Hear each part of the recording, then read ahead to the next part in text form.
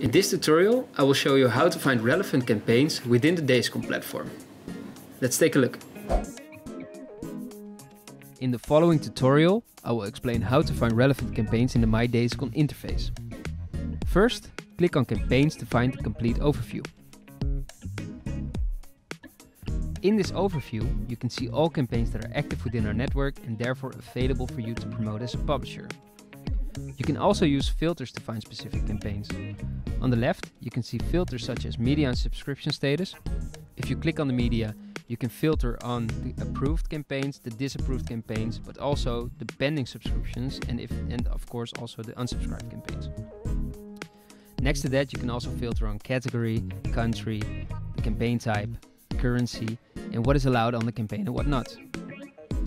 After you've established the right filter settings or search for a specific campaign using the search bar up top, for this tutorial we're going to use Grover as an example, click on the campaign.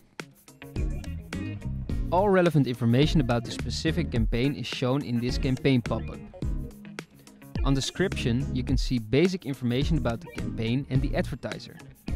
You can also see the important conditions of the campaign. For example, if there's a product feed available or not, countries you can promote the campaign in, if promotion on social media is allowed or not, and also if using keyword marketing or email marketing is allowed.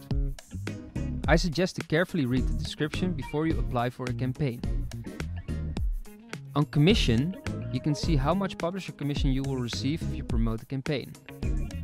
At terms and conditions, you can check if a campaign has certain conditions you need to agree with. Make sure to always check this because it can affect your promotion. You are now ready to subscribe for the campaign. At subscriptions, you can subscribe for the campaign. In the next tutorial, we will explain how the subscription process works.